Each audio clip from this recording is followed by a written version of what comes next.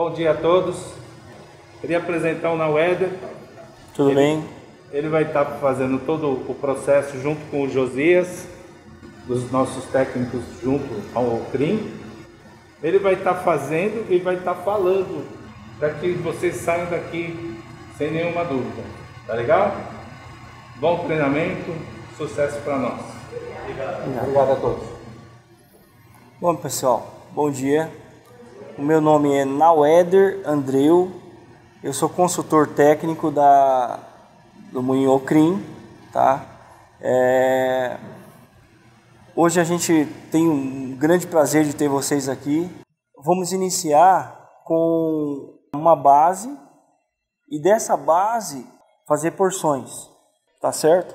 Então, esse, esses são os pães que nós vamos fazer. Tá certo, Josias? Corretíssimo. Eu gosto de pesar sempre numa caixa. Nas padarias eu passo esse treinamento. Para o profissional já pesar tudo num recipiente para ficar mais prático. A receita é simples, só que ele não pode esquecer de nada. Vamos fazer uma receita de 4 quilos. Então, 2 quilos da integral. Essa farinha integral é moída em moinho de pedra. Quando, quando moe essa, essa farinha, sai aquele cheiro assim de, de, de, de mata, assim, sabe? O trigo ele, ele realça o, o, o aroma assim no ar. É bem diferente. Então agora 2 kg da farinha branca. Então aqui foi pesado 2 kg da farinha integral, 2 kg da farinha branca, sal 2%. Eu utilizo açúcar mascavo para dar um sabor para o pão integral, coloração. Tá? Então aqui é a mesma coisa, 2%. 80 gramas. 80 gramas. Vou colocar 30% do fermento, tá? Esse fermento, eu alimentei ele ontem, já para utilizar hoje. Então assim, toda vez que você for fazer o pão, alimenta antes. Farinha e água. 100% de farinha, 50% de água. Vidrinho, coloca no recipiente, mexe, fica no ambiente neutro. No outro dia, descarta assim uma, uma quantidade, pesa e vai alimentando com água e farinha durante oito dias. No oitavo dia, ele já vai estar tá querendo explodir. Como é um, processo, os padeiros antigos eles falam assim: Poxa, mas eu faço com caldo de cana. O que, que o caldo de cana faz? Ele acelera esse processo do levan, por açúcar. Pode se fazer com cerveja também, tá? Exatamente, Josias. Cerveja e iogurte. Então, 2 quilos da farinha integral, 2 quilos da farinha branca, 2% de sal, 80 gramas. E 2% de açúcar mascavo. 30% de massa madre. No caso aqui eu estou usando a massa madre dura, tá? Mais firme. A líquida está ali tá bom? Mas nesse caso aqui a gente vamos, vamos, vamos utilizar o fermento duro. Então a gente vai derramar esse, o que a gente pesou na maceira e vamos pesar a água. Vamos começar com 70% de água. Temperatura da água. A gente faz um blend de gelo e água gelada. Sem o gelo você não vai conseguir uma elasticidade, uma hidratação correta. Vou colocar 1.800 de gelo. Ah, mas você usou start, não é fermentação natural. Não, isso é um mito. O fermento instantâneo ele não é um inimigo. A quantidade que se usa dele é que acaba com o pão. Dá um startzinho, o casamento dos dois fermentos é, é um sucesso. Isso, isso daqui é importante para manter a temperatura, tá? Foi 1.800 mais um litro.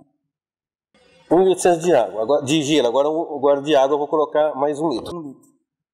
Aqui a água está a temperatura ambiente, tá? Se a gente quiser medir, vamos medir? Pega aí, ó. Vamos medir a temperatura da água para vocês terem uma noção. É isso aí. 21 graus.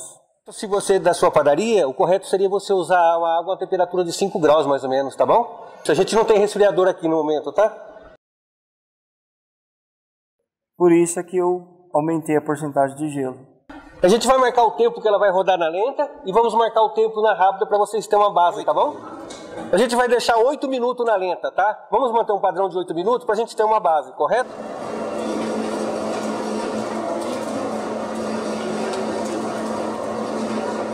6 gramas por quilo. Não pode ultrapassar as 10 gramas por quilo. Ultrapassou as 10 gramas, aí já não é considerado. Tá? Pô, mas eu consigo assar esse pão hoje? Claro, a gente vai assar hoje. Mas e se eu se quiser deixar para amanhã? Top. Nas caixas, também pode deixar na caixa.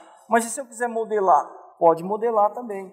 Desde que você tenha uma câmera fria que segure aí em 7 graus, no mínimo aí, tá? 7 graus. Fermento, start. Vamos adicionar o fermento, tá? E vamos passar para rápido.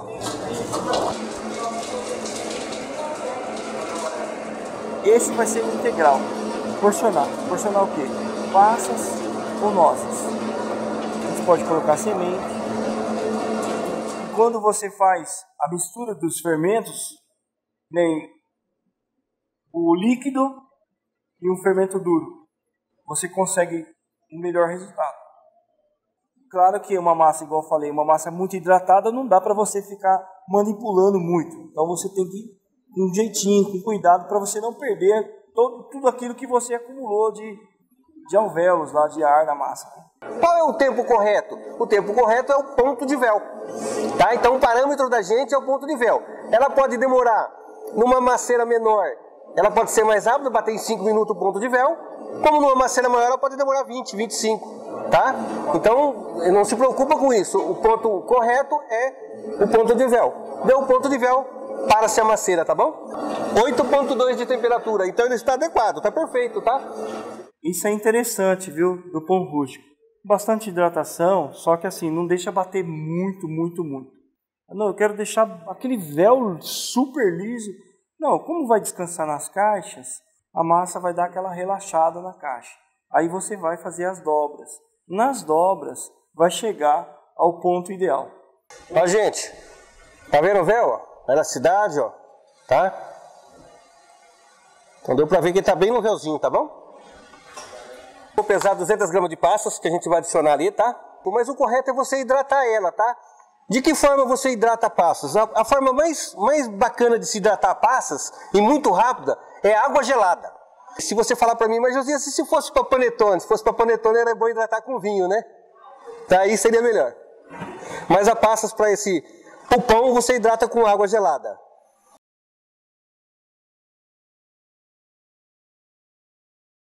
Então, untei, né? Agora eu vou tirar toda a massa. Para tirar da maceira, vocês já devem ter visto, a gente pode utilizar a água, molhar a mão com a água ou com azeite.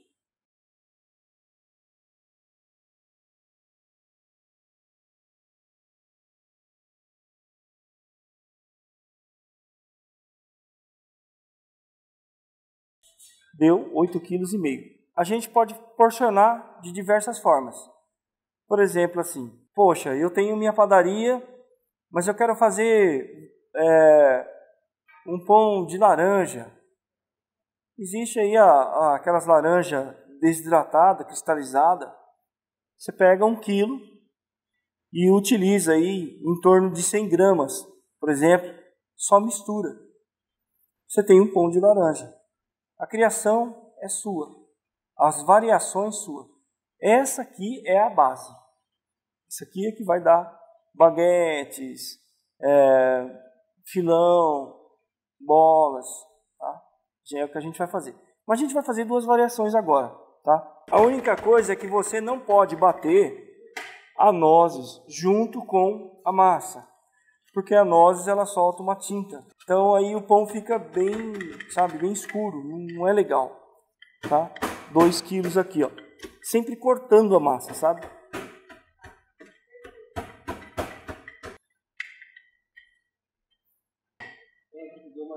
2 quilos, passou.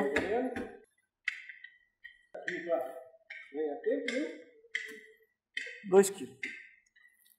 Volta para a maceira. Mas esse processo pode fazer na caixa? Pode. Se tiver uma caixa, você vai lá, vai mistura na mão. Tal. Mas a gente vai voltar para a maceira. Vamos conferir? 200 gramas também.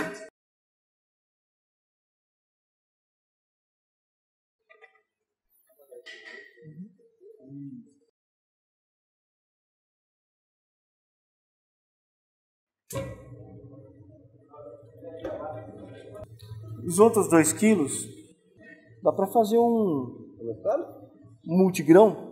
Ó, a gente vai fazer um mesclado aqui no multigrãos, semente de girassol.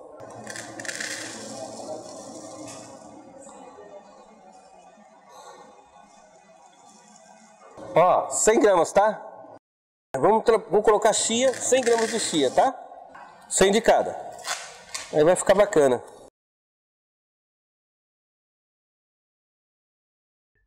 Ó, tirei da, da macieira, abri, tá? Tá com as nozes, as passas, e aí quatro dobrinhas. Ela absorvia mais água ainda se eu quisesse. Mas 70% está dentro de um padrão que a pessoa vai conseguir trabalhar tranquilamente, manusear, né? É, ultra congelar. Tem muita gente usando isso, faz os pães, pré-assa e joga no ultra congelador. Passa uns dias, vai lá e dá o acabamento final no forno. Ó, então primeiro aqui, ó, você puxa a massa para cima, faz uma dobra no meio, como fosse uma uma cobertinha. Você furando. Tivesse dobrando lá a cobertinha quando levanta de manhã. Então aqui acabou.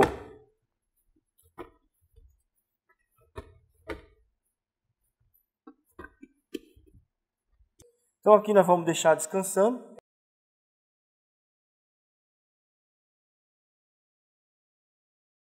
Então, ó, 2 quilos, vai misturá-lo.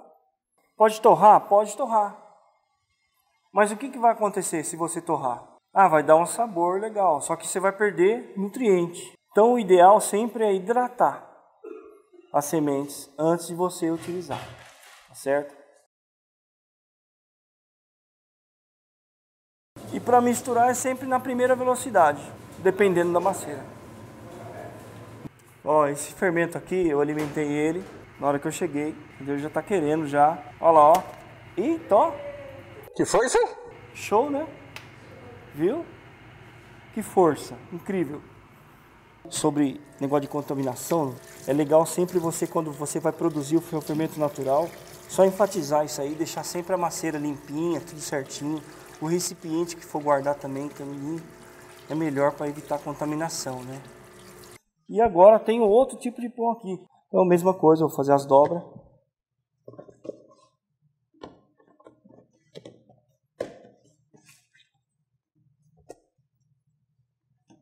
Já temos aqui então.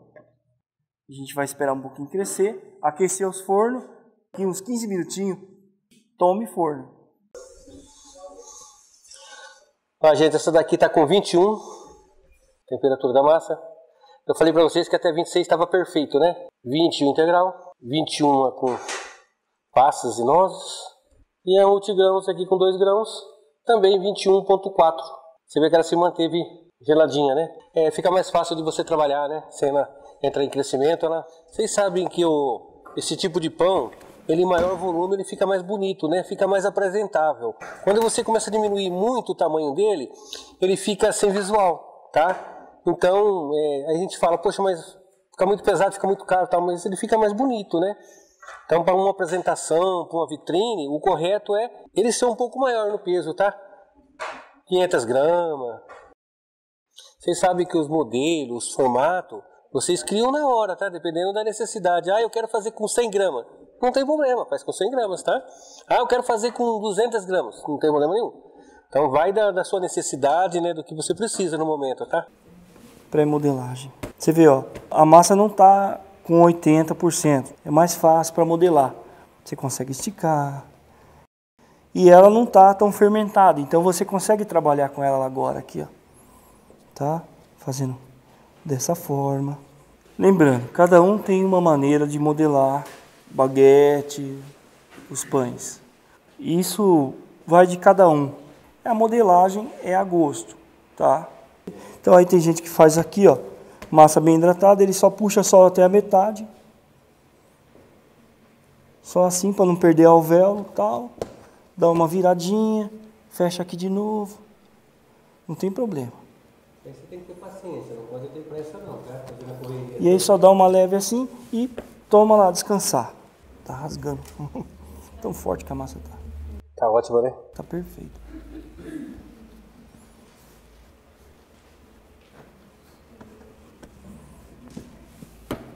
Esse modelo aqui eu, eu acabo fazendo de, da seguinte forma: puxa, vai até o meio, puxa, vai ao meio. Assim. De fora para dentro. De fora para dentro. Fora para dentro. Fora para dentro. Fora para dentro. Aí ficou ficou assim, pô, e aí, o que, que eu faço? Coloca a farinha, uma boa quantidade aqui, vai. Ou se quiser já deixar uma bacia com farinha, é legal. Você joga em cima da farinha e só faz assim, ó, esse movimento. Você não vai bolear. Você só vai deixá-lo assim, deixa descansando. E desse jeito aqui vai para para forma. Vai ficar dessa forma mesmo. Cresceu. Você vai fazer o quê? Virar ele. E vai assar dessa mesma forma. Ele vai dar aquela estufada e vai ficar parecendo que a gente fez um monte de corte. Então você trabalhando dessa forma, com a massa bem gelada, você consegue modelar tranquilamente o seu produto sem correria. Porque esses pães realmente é para você calma, tranquilo, tal. E dessa forma aqui, ó, você já pode modelar desse jeito, colocar na assadeira. Eu gosto de sempre de dar uma molhadinha de farinha legalzinha aqui, ó. Coloca dessa forma aqui na assadeira. E já vai, por exemplo, pô, vou deixar para amanhã. Nem deixa fermentar. Já coloca no carrinho lá e coloca dentro da câmera, entendeu? Amanhã você tira, vai dar uma descansadinha. Esse tipo de massa, eu até aconselho, não coloque em câmera em estufa. Geralmente o cara coloca a estufa a 35, 40 graus de temperatura, então desidrata, perde água muito rápido. A não líquido. ser sem start. Aí é uma outra história, porque aí vai, vai dormir na geladeira, vai ser modelado, quer dizer, vai ter um, vai sofrer um, vários processos. E aí você vai, vai ter que colocar numa fermentadora para poder dar um, senão você não vai embora. Esses pães dá para dá para congelar eles, né? Só pré-assar e congelar e quando chegar a encomenda terminar de assar? Perfeito. Chegou a 90 graus, pré-assou, colocou, deu vapor. Passou ali uns 5, 7 minutos. Não, não corou ainda. Pode puxar, coloca o termômetro, um termômetro de espeto, né? Chegou 90 graus, você já pode tirar e deixar para congelar. Lembrando que esses pães, nesses fornos de lastro, aqui ó, tá no máximo 250 a 250 graus. Quanto mais alta a temperatura for, maior a explosão ele vai ter mas consequentemente ele tem que ter muito vapor, sabe? Que é para dar aquele salto legal.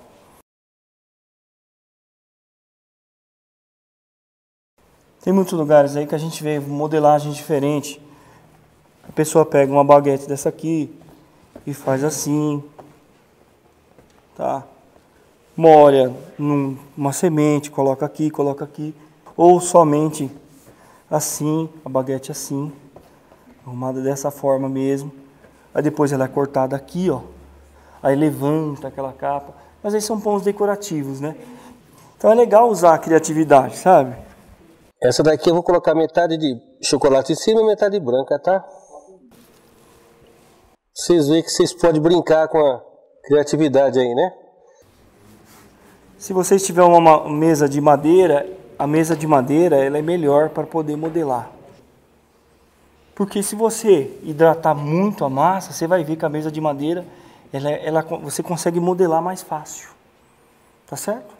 De uma massa só a gente tirou uma variedade, né? E a outra também a gente pode tirar até mais. Método direto dá para você tirar uma boa qualidade também. Só que de um dia para o outro descanso, cara. Esses pães com muita hidratação, fermento natural, tem que ter um descanso aí no mínimo de 12 horas. Vamos colocar granola, né? Não fica legal? Fica bonito. E gostoso também, né? Ah, mas eu não quero no meio do pão, quero só molhar. Mistura das sementes, molha o pão e molha na semente. Caso não queira no meio. Eu não tinha pensado que ia... É. Você vê que aí quer brincar, parece uma massinha de modelar, né? No meio, né? E por cima. Pode marcar no relógio aí, em 40 minutos a gente já vai colocar no forno, tá? A gente tem dois tipos de forno aqui. O de lastro e esse aqui que é o turbo. Esse daqui, ele tem um esqueminha para você assar esse tipo de pão, que ele dá mais volume. Porém, esse daqui, ele assa, por exemplo, se for assado direto na pedra, é a qualidade do assamento, do forneamento, né, a cocção, que é chamado assim, né, o assamento, forneamento, qualidade é diferente. Vocês vão entender por quê. Lembra que a gente fez? É só somente virar e deixa.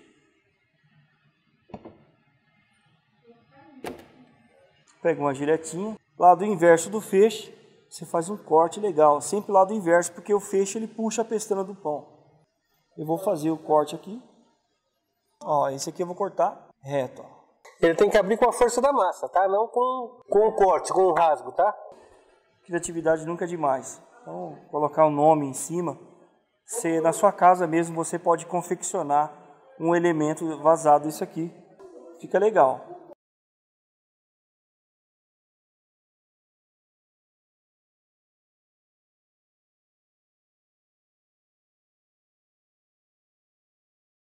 Então nós vamos colocar uma baguete aqui e esse de baguete nós vamos pôr aqui, tá?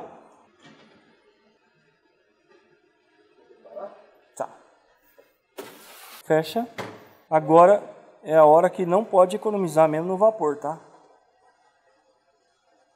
Ó, aqui já deu, tá? Dei bastante vapor, pode desligar por gentileza e marcar 15 minutos. Agora nós vamos baixar a temperatura quando a gente ligar. Vamos baixar para 180, né, ô Josias?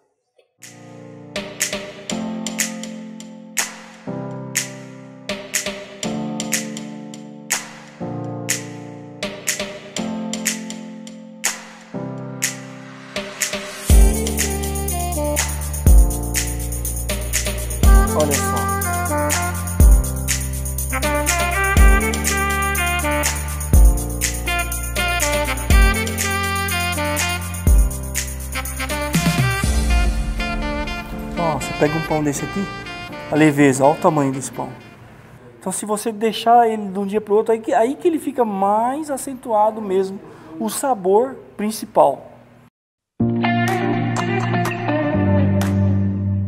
Vamos lá então, para a gente iniciar a segunda parte, que é com autólise, tá certo? Aí vai ser, nós não vamos utilizar é, a farinha integral, só, somente a farinha branca. Então aqui, ó, processo autólise, 5 kg de farinha orgânica e 3 litros de hidratação. Isso, sendo 1,5 de gelo e 1,5 de água, tá? Fazer um blend para não... Manter a temperatura. É interessante que a massa também esteja, esteja fria para ir para a geladeira, tá? Ideal é sempre uma hora e meia a duas horas de autólise. Tá bom? Então, vamos lá.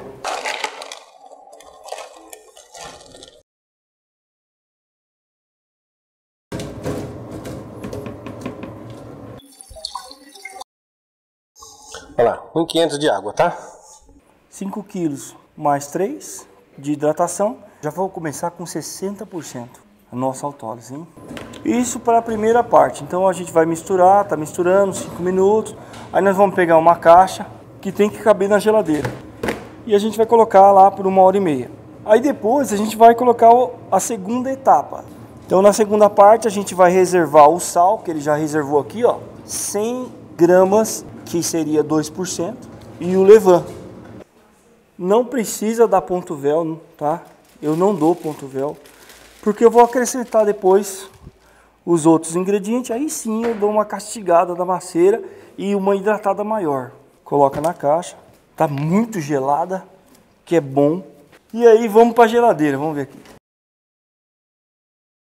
Nós vamos dar uma autólise de menos tempo, tá? Então vamos dizer que essa massa aqui já ficou lá uma hora e meia. Tá bem gelada, muito gelada. Já deu um descanso, legal. Vou voltar ela para a maceira E aí a gente vai acrescentar o restante dos ingredientes mais um litro de água. Pronto, fermento natural. Um e meio. Fermento natural de novo na maceira. Sal e mais um litro de água. Com um pouquinho de gelo para poder deixar a água gelada.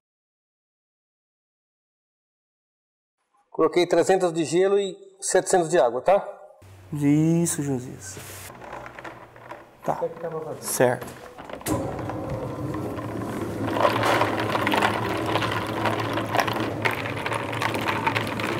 caso aqui eu tô mexendo o gelo para poder dissolver mesmo, sabe? 4 graus. Quer dizer, consegui abaixar legal a temperatura, né?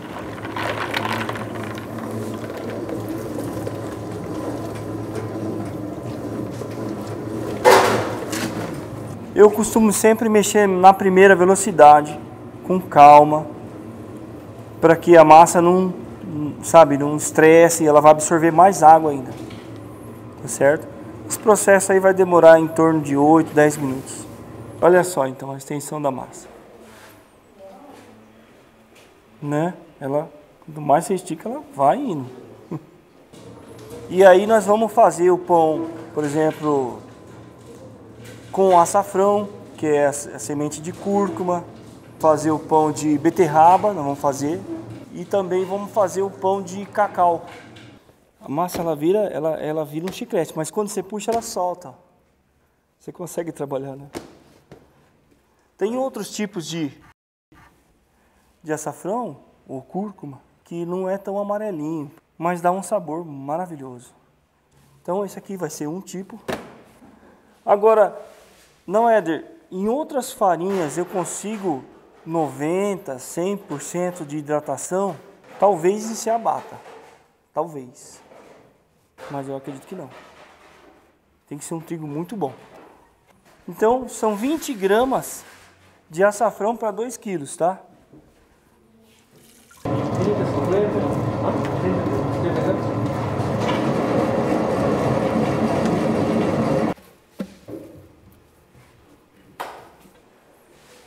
Massa prontinha e deixa descansar. 80 gramas. Para um é, quilo. Tá 40, então 80. Então 80. Mesmo processo, coloca a massa e deixa que a massa absorva o cacau e depois a gente só vai colocar as gotas como fosse um chocotone.